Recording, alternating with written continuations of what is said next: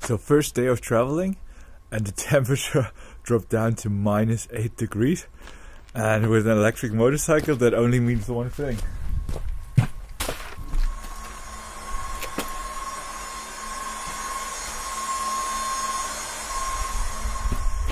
I'm charging inside. Don't tell mom. See you later.